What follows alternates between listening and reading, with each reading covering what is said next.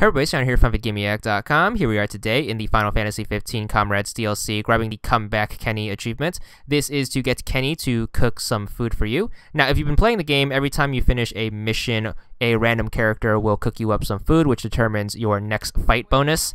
So basically, all you have to do is just keep playing until you draw Kenny. If you're having trouble with the RNG, what you can also do is you can play this mission. It's going to be found here in the Min Brum Haven. It's going to be called the Marauding Mistguard Summer. So if you play that with four human players and make sure that no one in the party picks up any food, you are guaranteed the 100% spawn. If you're not so good with finding people or you don't have any friends to play this with, of course you can keep playing until you randomly get it. I happened to get it early on at about level 6 or so, however this game is going to be super grindy, so hopefully you should get it eventually. Kenny looks like this, he's basically the guy with the chef's shirt but once you manage to have him appear, you should be on your way to the achievement. There it is, 10 gamer score, and that's all there is to it.